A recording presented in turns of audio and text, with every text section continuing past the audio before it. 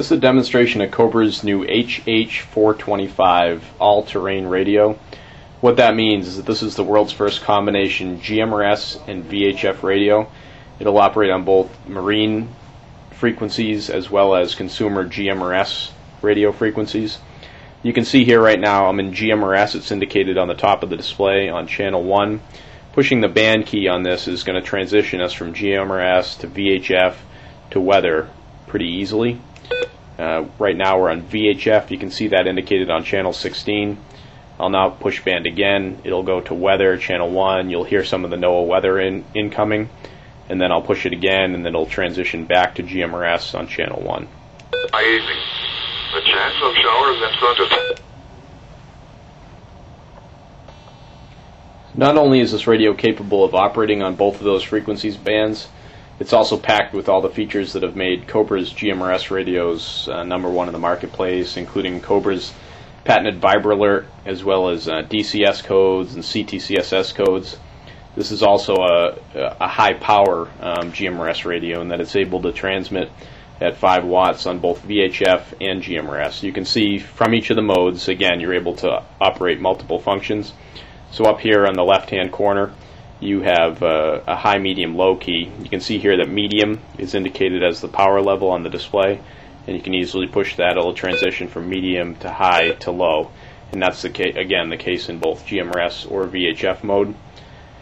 You also have, right now we're in GMRS mode, you also have what are called CTCSS and DCS subcodes. Those allow for up to 1815 privacy combinations.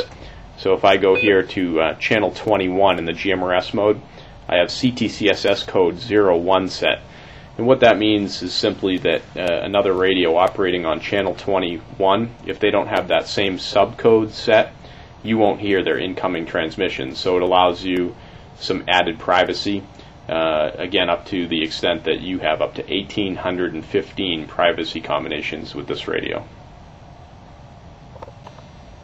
This is now a demonstration of the VibraAlert feature on this Cobra radio.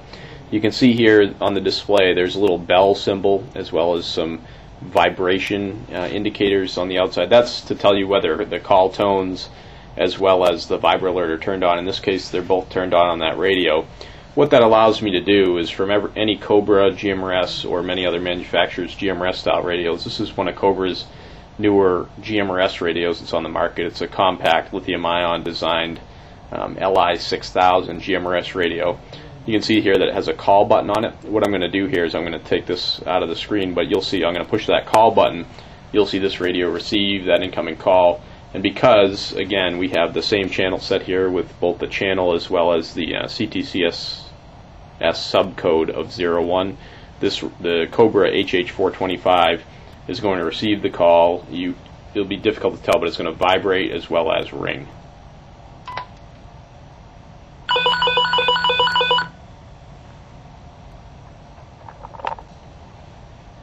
Cobra's professional series VHF radios also have a somewhat unique way of accessing the memory channels on those radios. You can see the memory button here is basically going to take me into uh, a memory channel bank. Memory 06 is indicated on the display here, so I'm on the sixth memory channel. There are a total of um, there's an unlimited combination based on the number of channels that we have here. You can go from 0 to 99 allocating the memory channels.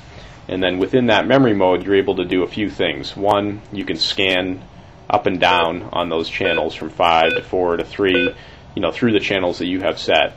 You can also use the scan button to scan exclusively within those memory channels at any time, just either pushing scan or escape again to get out of that. Um, what what you saw there when we just pushed that scan key is somewhat unique in that you'll be able to see up on the top here. It's going to switch from VHF to GMRS and jump back and forth. We have one of the GMRS channels set as the uh, one of the memory channels, so it's scanning going back and forth. If I then were to take again this LI6000 GMRS radio and transmit on uh, channel 21 with CTCSS subcode set of 01, you'll see that the squelch will be broken on this radio and it's going to stop on uh, channel 21.